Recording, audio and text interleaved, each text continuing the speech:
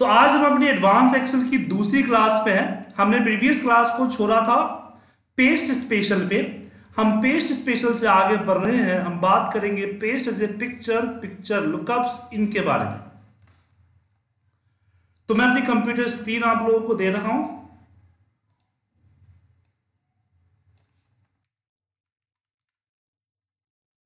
हमने Excel file को खोला। अभी क्या होता है कभी कभी हमें अपने डेटा को बहुत ही छोटा या बहुत ही बड़ा बनाना होता है। जब आप डैशबोर्ड्स या फिर कुछ तरह के समरी वगैरह बनाते हैं तो उसमें ये चीज़ आपको करनी पड़ती है। तो अगर पूरा कॉलम को छोटा करते हैं तो उसमें प्रॉब्लम होती है। क्या प्रॉब्लम होती है, हम आपको बता रहे हैं। बस एक छोटा सा डेटा हम यहाँ आपको बताते हैं, बना के, छोटा सा डेटा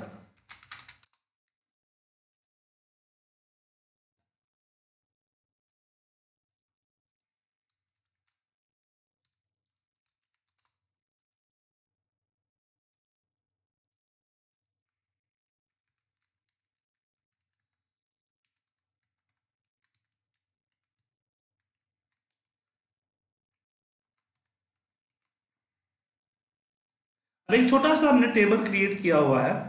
अब इस टेबल को हम कहीं पर रखना चाहते हैं। अब प्रॉब्लम क्या है कि इस टेबल को अगर मुझे एक जगह पर रखना जहाँ एक छोटे से एरिया में रखना एक छोटे से एरिया में, इतना छोटा एरिया में रखना है। तो अगर मैं पूरा कॉलम अगर छोटा करता हूँ तो इसके नीचे भी हो सकते हैं कि बहुत सारे वैल्यू हो। अब वो वैल्यू जो होगा, वो क्या होगा? कि छोटा हो जाएगा। इसलिए हम कॉलम को छोटा करने का प्लान ड्रॉप करते हैं। लेकिन मुझे चाहिए। तो आपको जस्ट व्यू पर्पज से चाहिए तो हम क्या करेंगे? इसको कॉपी करते हैं। और यहीं पे पेस्ट में पिक्चर लुकअप होता है। सॉरी माफ़ कीजिए। Paste is a picture paste is a picture picture lookup हम आगे पढ़ेंगे। अब पेस्ट एज ए पिक्चर हमने कर लिया तो इसमें प्रॉब्लम नहीं होगी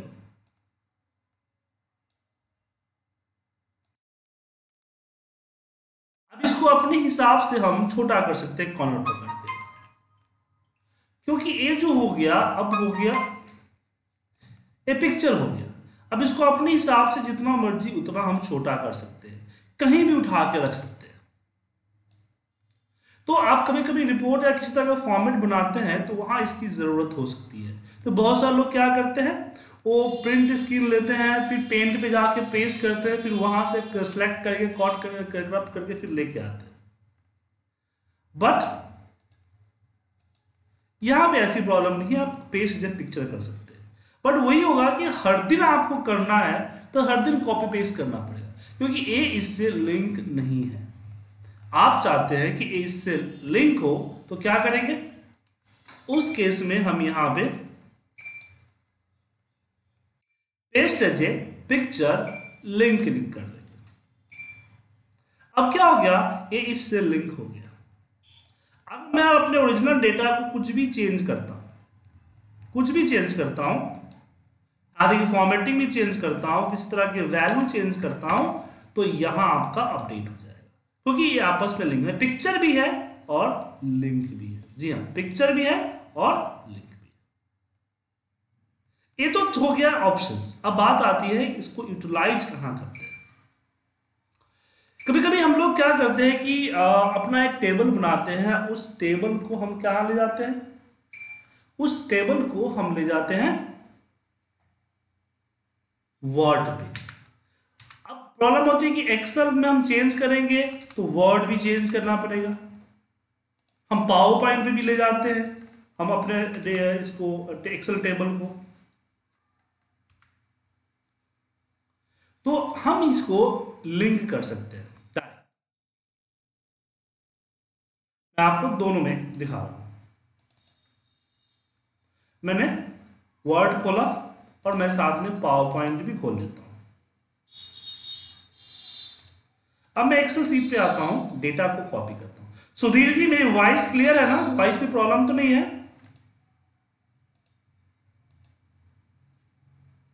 ठीक है सर वैसे मैं नया हेडफोन यूज़ कर रहा हूँ ना ब्लूटूथ तो मैंने सोचा एक बार पूछ लू। तो यहाँ हम आते हैं पेस्ट स्पेशल में। पेस्ट एज ए लिंक और यहाँ पे सिलेक्ट करते हैं Microsoft worksheet Excel worksheet and okay करते हैं। तो ये आपका लिंक हो गया। इसको बड़ा छोटा कर सकते हैं। उसी तरीके से, से आप यहाँ यहाँ भी कर सकते हैं। पावर पॉइंट में भी कर सकते हैं। Paste special paste as a link यहाँ पे ओके कर दीजिए।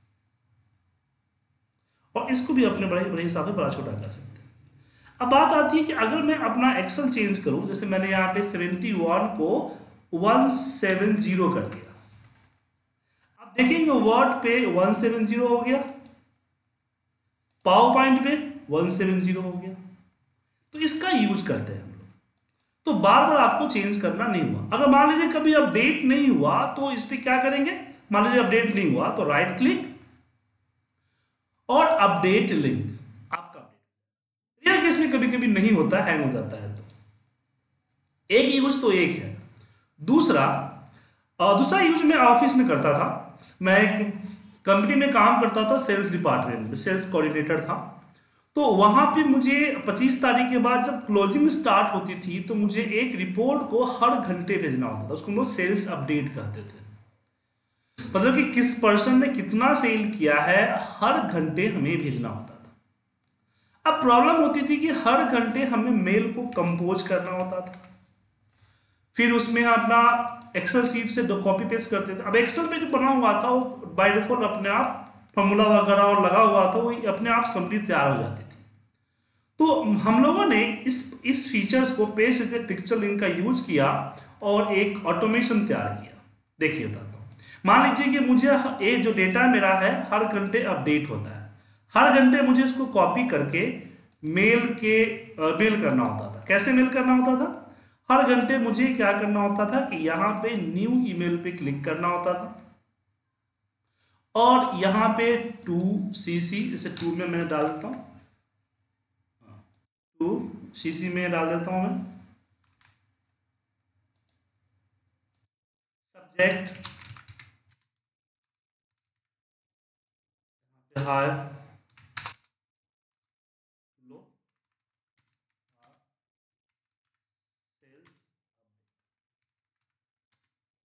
और यहाँ पे हम पेस्ट कर देते थे। तो मैं क्या करता था कि मैं कॉपी पेस्ट कर, तो करता था बट कॉपी करके पेस्ट नहीं पेस्ट एज ए वैल्यू बनता था। जी हाँ paste as a paste special में। सो ये माफ़ कीजिए वैल्यू नहीं मैं गलत बोल गया। Paste link paste as a paste link paste link पे क्लिक किया लिंक हो गया। अब थोड़ा सा बड़ा करना है बड़ा कर दीजिए। और फिर नीचे हम लोग थैंक्स रिगार्ड कर देते हाँ तो मैं आप एक बात समझ लीजिए आउटलुक में काम ऐसा नहीं कि मैंने सेंड कर दिया तो मैं अपना यहाँ डेटा चेंज होगा थर्ड पर्सन को वहाँ भी चेंज होगा। नहीं, आपने जो मेल भेज दिया, उसमें कोई चेंजिंग नहीं है। तो चलेगी वो चलेगी। तो चेंज कैसे होता फिर फ़ायदा क्या होता था? हम लोग इसका टेम्पलेट बना लेते थे। हम फ़ाइल में जाते थे सेव एज कर देते थे। सेव एज में हम यहाँ पे आउटलुक मैसेज की जगह पे आउटलुक टेम्पलेट और एक लोकेशन पे डाल देते थे। देन से अब मैं सेंड कर देता हूँ, या हटा दूँ, कोई बात नहीं अब अगले घंटे क्या होता था कि हमारा रिपोर्ट चेंज होता था। मान लीजिए कि मैंने इसका कलर कर दिया, ये रिपोर्ट चेंज हो गया। डेटा भी चेंज कर दिया मैंने कलर चेंज किया। से अब मुझे क्या करना है कि जो मेरा ये जो टेम्पलेट बना रखा है ना सेल्स अपडेट का, बस इस पर डबल क्लिक करनी है। एक यस एंड नो का पूछेगा उसे यस करना है। यस करते ही मेरा पूरा मेल रेडी है। मेरा टू डला हुआ है, मेरा सीसी डला हुआ है, मेरा अपडेट डला हुआ है, यहाँ पे पूरा लिखा हुआ है, मेरा डेटा भी चेंज हो गया। पहले येलो कलर था, अभी हो गया ना सर ब्लू कलर सब लिखा हुआ है, अब मुझे यहाँ पे इसको जस्ट सेंड कर देना है। फिर अगले घंटे मैं अपना डेटा चेंज करता हूँ, इस बार मैं डेटा चेंज कर देता हूँ।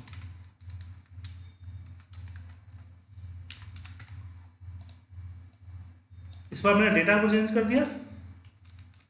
और कलर भी चेंज कर देता हूँ। इस बार कलर में ग्रीन कर देता हूँ। अब मुझे अगले घंटे क्या करना है? इस पर डबल क्लिक करनी है।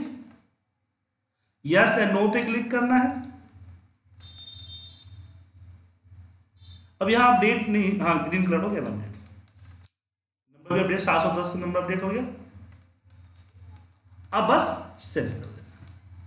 तो मुझे बार बार मेल क्रिएट करना, कॉपी पेस्ट करना और लिखने से तो बच बच गए हम।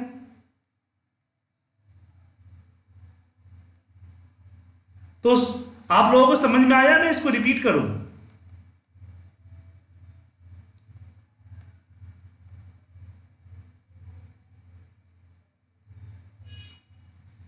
चलिए। तो ये पिक्चर का यूज़ था। अब बताइए।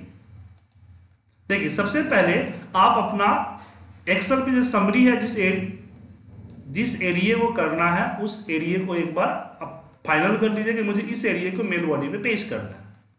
इसको कॉपी कीजिए। कॉपी करने के बाद आप जाइए न्यू पे न्यू ईमेल पे।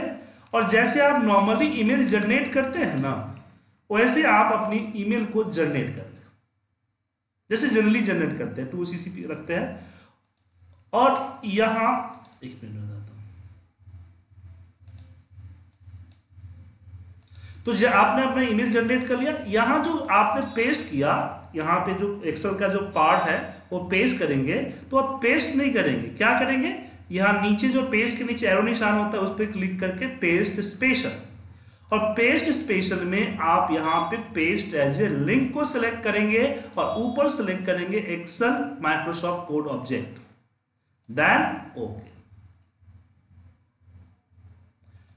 जब आपका फाइनल हो जाएगा तो आपको सेंड नहीं कर देना है। आपको इस फ़ाइल को सेव एज करना है, इस मेल को न्यू मेल को। और यहाँ आउटलुक मैसेज पे आपको सेलेक्ट करना है आउटलुक टेम्पलेट और यहाँ सेव जो भी लिखना है, लिख दीजिए अपना हेडिंग और सेव कर दीजिए। उसके बाद आप सेंड कर सकते हैं। उसके बाद जब भी आप, आपके उस लोकेशन में इस तरह का फ़ाइल आ जाएगा अब आपको ओपन करना है अब अपने एक्सेल को अपडेट करना है, इसको ओपन करना है और सेंड कर देना है। भाई, ध्यान रखिएगा कि जब आप इसको ओपन करें, मैंने मेल वर्डी को ओपन करें, इसको मेल को तो आपका ओ एक्सेल फ़ाइल ओपन रहना चाहिए, वरना फिर आपको अपडेट लिंक करना पड़ जाएगा।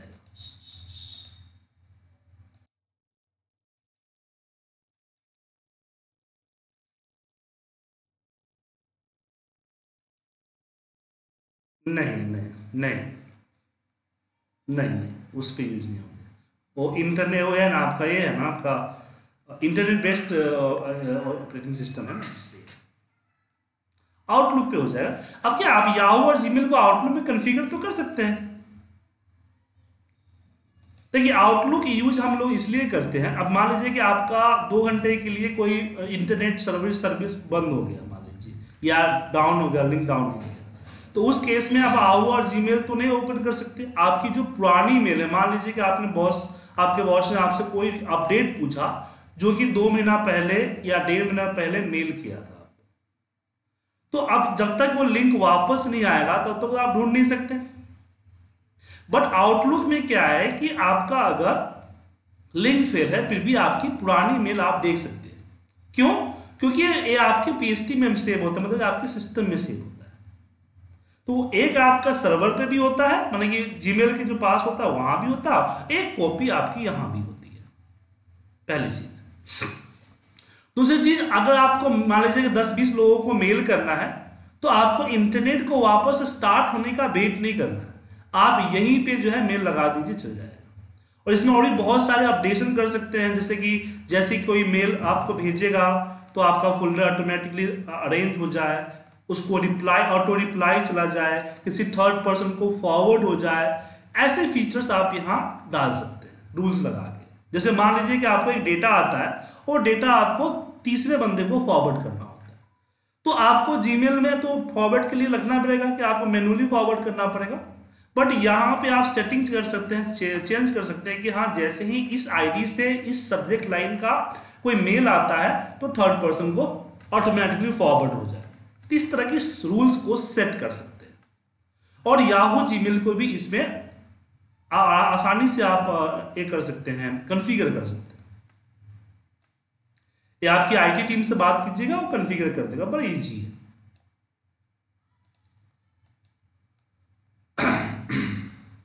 चलिए, आगे बढ़ते हैं कोर्स को आगे बढ़ाते हैं। अब हमने आपको ला, लास्ट क्लासेस जो हमारी हुई थी उसमें हमने आपको एक रिसर्च दिया था। हमने बोला था कि क्लिपबोर्ड का जो ये ऑप्शन है इसका क्या यूज़ है? किसी ने रिसर्च किया?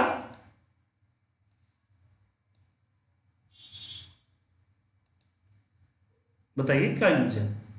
मुझे पूरी क्लास को बताइए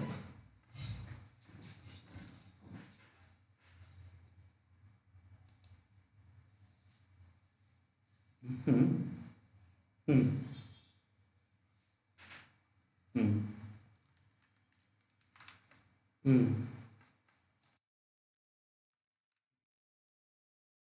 नहीं, वो तो आपने बता दिया इसका यूज़ बट आप अपने ऑफ़िस में क्या यूटिलाइज करेंगे इसको?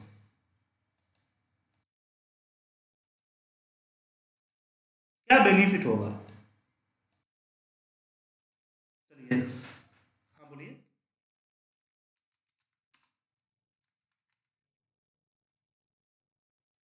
हम्म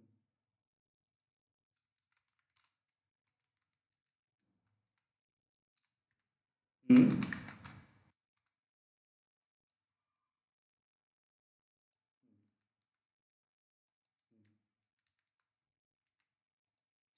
हाँ। ये भी सही तरीका है, लेकिन इसका यूज़ कम है, बहुत कम है। चलिए, हम आपको एक एक यूज़ और बताते हैं। आप लोग डेटा कंपाइल तो करते होंगे ना?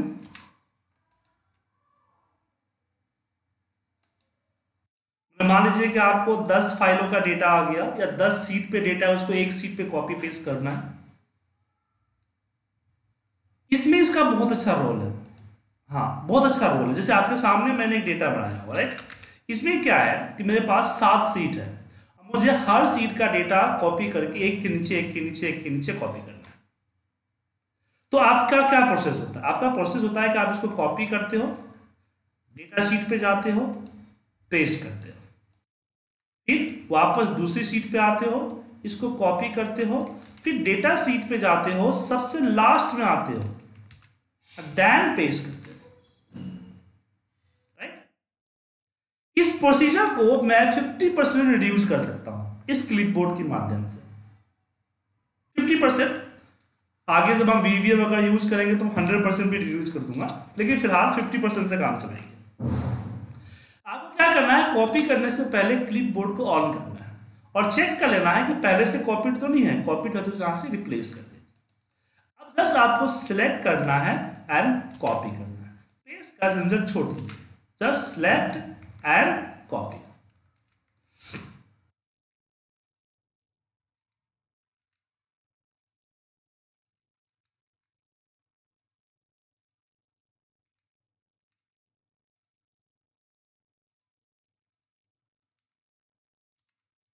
गया अब मेरा पूरा हो चुका है कॉपी मैंने यहाँ पे एक बार चेक भी कर लिया। कोई रिमूव वगैरह करना है रिमूव कर दीजिए। फिर आइए डेटा पे। और यहाँ कीजिए पेस्ट ऑल एक के नीचे, एक के नीचे पेस्ट हो गया ना?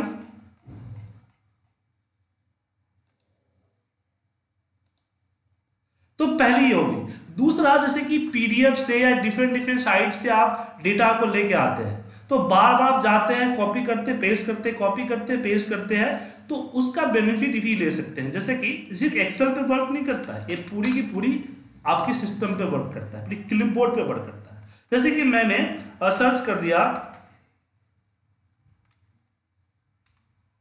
मैं सुधीर जी का ही नाम सर्च करता हूँ।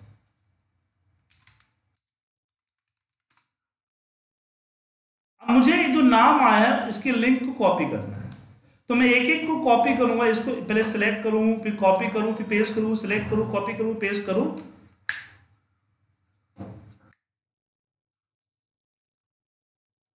तो क्या करेंगे कि हम अपना क्लिपबोर्ड यहाँ ऑन करें। और उसके बाद हम जस्ट कॉपी करते चले जाएँगे इसको सिलेक्ट किया कॉपी बस एक दिक्कत यही है कि इसमें चौबीस की कॉपी कर सकते हैं। फिर खाली करना पड़ेगा आपको।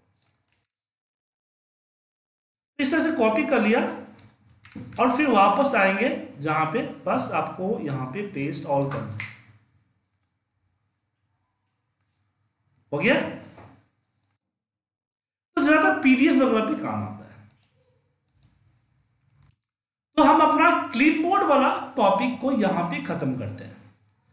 अगले टॉपिक की तरफ़ बढ़ते हैं, जो कि है फॉर्मेटिंग मेथड फॉर्मेटिंग मेथड जैसे आप लोग जो है फॉर्मेट तो करते हैं, कोई भी फॉर्मेट लिया आप बाकी जो है कलर वलर करना, सब चीज़ कर लेते हैं, कोई बड़ी बात नहीं है, आप कर लेते हैं, ये मैं जानता हूँ।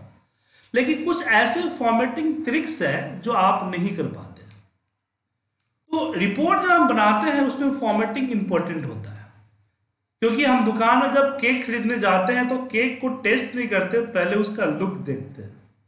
उसी तरह से आप अगर किसी को रिपोर्ट भेजते हो, अगर आपका लुक, रिपोर्ट का लुक अच्छा है तो रिपोर्ट हर कोई देख लेगा। कितना ही, कितना भी डेटा बेकार क्यों ना एक बार फ़ाइल को देखेगा ज़रूर। लेकिन अगर मान लीजिए आपका इंफॉर्मेशन बहुत अच्छी है बट उतना देखने में अट्रैक्टिव नहीं है तो जो जिसको ज़रूरत होगा वही देखेगा। अननेसेसरी कोई नहीं देखेगा। सो रिपोर्ट फॉर फॉर्मेटिंग मैंने करती है दूसरी चीज़ फॉर्मेटिंग हमें इजी टू अंडरस्टैंड करती है। ऐसा नहीं है कि फॉर्मेटिक जस्ट हम दिखावे के लिए करते हैं। मेकअप टाइप ऐसा नहीं है। हमें कंपेयर करने में बहुत फ़ायदा करता है। किस तरह का फ़ायदा करता है? जैसे ट्वेंटी फाइव और सिक्सटी है। अब मुझे इसमें देखना है कि बड़ा कौन है। तो इसके लिए यहाँ पे कंपेयरिंग लगाएँगे, उससे अच्छा है कि हम अपनी फॉर्मेटिंग में आइकन सेट लगा बोलेगा सर ये तो ऐसे भी देखा जा सकता है। ये 25 है तब ना बट 25 सौ करोड़ के बीच में आएगा बड़े बड़े जो अमाउंट होते हैं, उस तरह के बड़े अमाउंट अगर हुए तो फिर दिक्कत हो जाएगी ना। लेकिन फॉर्मेटिंग यहाँ इजी टू अंडरस्टैंड करती है। तो चलिए फॉर्मेटिंग ट्रिक्स को आज अभी करते हैं। तो सबसे पहला फॉर्मेटिंग हम बात करते हैं जैसे आप वर्ड पे लिखते हैं टेंथ टी एच करते हैं तो स्पेस मारते टी एच ऊपर की तरफ़ चला जाता है बट एक्सेल में नहीं जाता तो एक्सेल में क्या करना होगा कि डबल क्लिक करके इसको सिलेक्ट करना होगा। फॉर्मेट सेल पे जाना होगा और यहाँ सुपर स्क्रिप्ट पे क्लिक कीजिए। ऐसे आपको टेन डिग्री लिखना है तो स्मॉल ओ अब इस स्मॉल ओ को सिलेक्ट किया फॉर्मेट सेल पे गया और यहाँ पे सुपर स्क्रिप्ट इस तरह कर सकते हैं। लेकिन प्रॉब्लम ये होती है कि जब हमारे पास बहुत बड़ा डेटा है, मान टेन डिग्री को लेते हैं, हमारे पास काफ़ी ज़्यादा डेटा है। इस तरह से। अब मुझे इसको, इसके ऊपर डिग्री लगाना है। तो अब इसमें क्या है कि मुझे एक एक क्लिक करके जाना होगा स्मॉल ओ को लिखना होगा, फिर स्मॉल ओ को सिलेक्ट करके फॉर्मेट सेल में दैन सुपर स्क्रिप्ट करना होगा। ये थोड़ा सा टिपिकल जॉब है। तो हमने क्या किया, इसके बगल में स्मॉल ओ को रखा, नीचे की तरफ़ हमने इसको ड्रैग किया, फिर हम इसको यहाँ पे लेकर आते हैं। छोटा कर देता हूँ। और इसको सिलेक्ट करता हूँ वापस हम।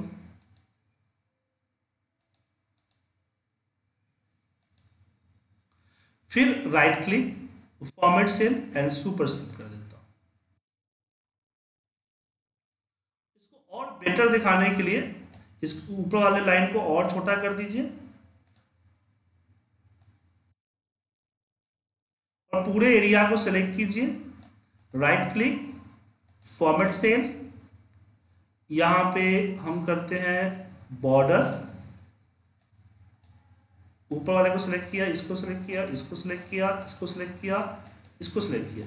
इसको सॉरी इस वाले लाइन को सिलेक्ट मत कीजिएगा। और फिर इसकी बैकग्राउंड कलर को व्हाइट कर दीजिए, या फिर गिर लाइन हटा दीजिए। तो सब कॉलम को छोटा कर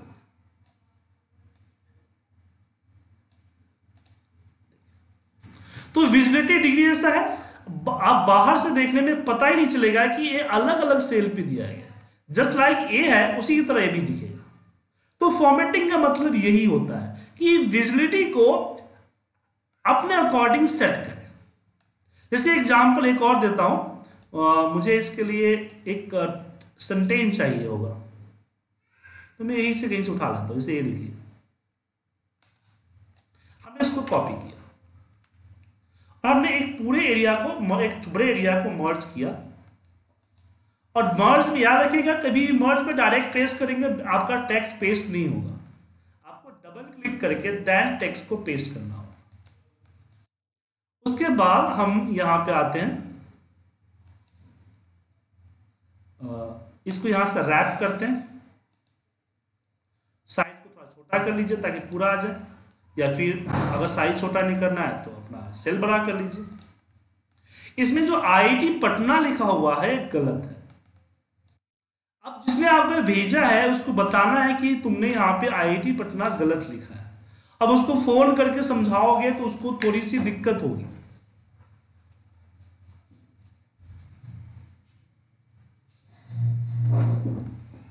तो क्या करेंगे?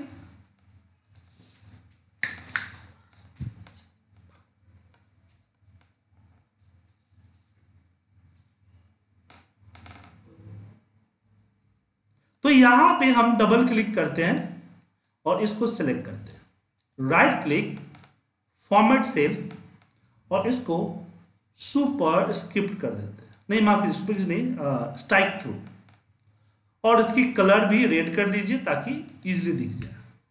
ओके कीजिए। हो गया। अब बेटर है उसको समझाने में। समझ जाएगा आपको, बिना बताए समझ जाएगा कि हाँ यहाँ पे गलत है। तो फॉर्मेटिंग इसलिए मैं बताया आपको कि फॉर्मेटिंग इजी टू अंडरस्टैंड करती है।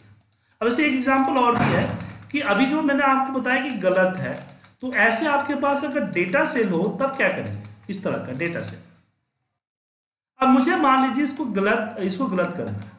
तो अगर प्रिंट आउट निकला हुआ है तो आप पेन उठाएँगे और यहाँ से क्रॉस कर देंगे। बट ये तो मेरा जूम का टूल से इसलिए मैं क्रॉस कर दिया एक्सेल पे कैसे करेंगे? एक्सेल पे क्रॉस करने के लिए आप बॉर्डर यूज़ कर सकते हैं। फॉर्मेट सेल बॉर्डर फिर बॉर्डर का कलर रेड कर लीजिए ताकि रेड दिखे। अपना बॉर्डर का बिट सेलेक्ट कर लीजिए। इसको दीजिए और यहाँ पे इसको लीजिए अब F4 प्रेस करेंगे तो ला, आपका लास्ट एक्शन रिपीट होता है। अब मुझे मान लीजिए टिक का निशान लगाया राइट का निशान निकाला तब क्या करेंगे? तब मैं यहाँ जाता हूँ फॉर्मेट सेल में वापस। बॉर्डर इस बार कलर ग्रीन ले लेता हूँ, और फिर यहाँ पे हमने इसको लिया और इसको ले लिया। ओके इस तरह से इसको आप कर लें। लेकिन प्रॉब्लम ये है कि आपने जो यहाँ लगाया नॉट ए ये जो फॉर्मेटिंग आपने लगाया, ये फॉर्मेटिंग सिर्फ़ प्रिंटेबल है जस्ट विजुअल है। अब इसके बिहार पे फ़िल्टर नहीं लगा सकते, क्योंकि आपका कोई भी फॉर्मेटिंग फॉर्मूला और फ़िल्टर है, उसको एक्सेप्ट नहीं करता है। मुझे कुछ ऐसा चाहिए जिसके फ़िल्टर लगा सकूँ कंडीशन लगा सकूँ फॉर्मूला लगा सकूँ। तो इसके आगे आप क्या करें कैप्स में पी लिखें। और इस पी पे आप यहाँ पे होता है बाइंडिंग टू नाम का या बेडिंग टू नाम का फॉन्ट होता है।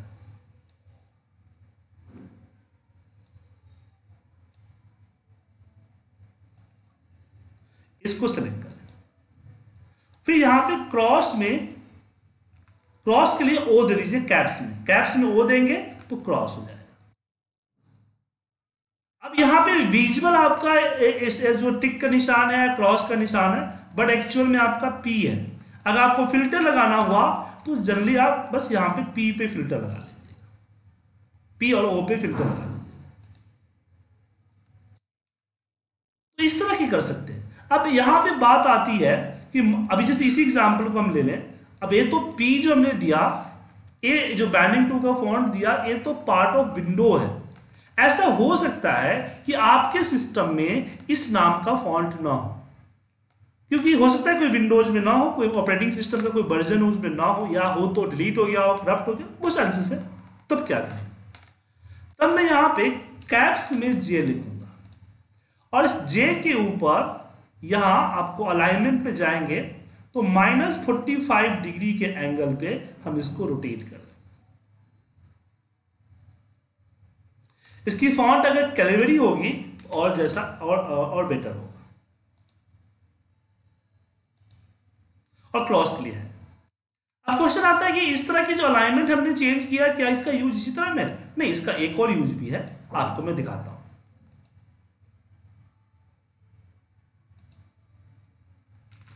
इसके लिए मुझे एक छोटा सा डेटा बना।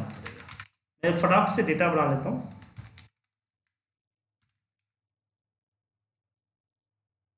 मान लीजिए मैंने एक महीने का आ, इसका अटेंडेंस सीट तैयार कर रहा हूँ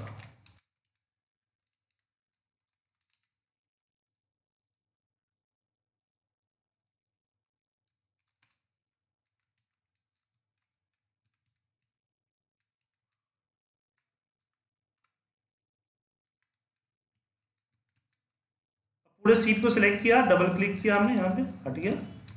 अब प्रॉब्लम है कि मुझे इसको प्रिंट करना है। तो एक पेज पे प्रिंट होगा नहीं।